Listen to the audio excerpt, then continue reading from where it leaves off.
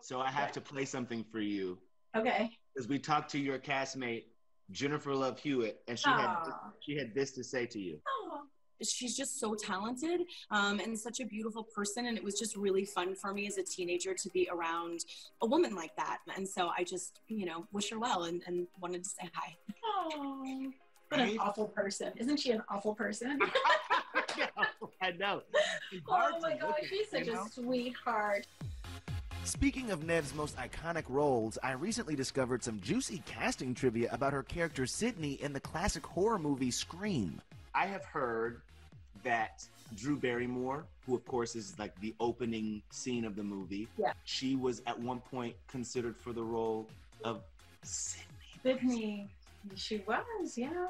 And then I heard that Reese Witherspoon was also in the, In the mix, was she? I the didn't know mix. And She's so done fine for herself, though. I think. I think both of them are okay.